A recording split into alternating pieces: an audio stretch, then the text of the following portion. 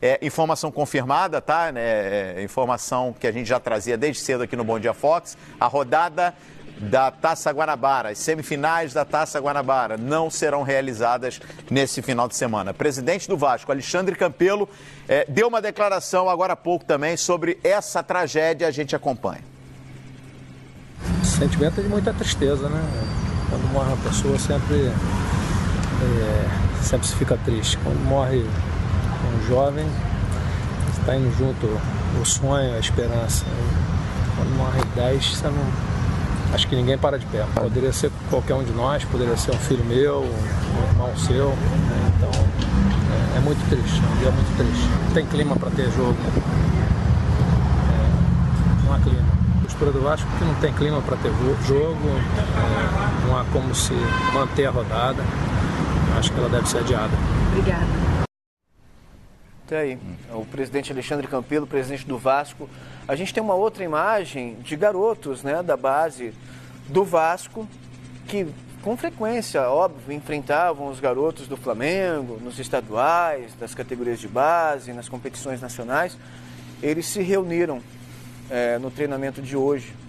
Vamos ver as imagens? É, um momento de, de oração do, dos meninos do Vasco. Isso aconteceu também no Fluminense, isso tem acontecido em todo o Brasil. É evidentemente uma tragédia que choca todo mundo, não apenas o mundo do futebol. A gente está falando de, de dez jovens que perderam suas vidas de uma maneira extremamente trágica. A gente tem produção, a imagem é, do pessoal do, do, do Vasco da Gama. Fizeram uma corrente, né? Um minuto de silêncio hoje antes do treinamento. Mas a gente segue com imagens aéreas aí do CT. Tá aí, tá aí ó. Força Flamengo, aqui é Vasco. É, enfim, é uma imagem bonita, né? Bonita. Essa, essas manifestações de solidariedade nesse momento, e elas estão vindo de todas as partes, os principais clubes do Brasil estão se manifestando em todas as regiões. É, a gente já começa a perceber é, mobilização também de da mídia, da imprensa estrangeira, noticiando o fato. Agora há pouco, uma manifestação do presidente da Comebol, Alejandro Domingues, se solidarizando também e, e, e oferecendo apoio.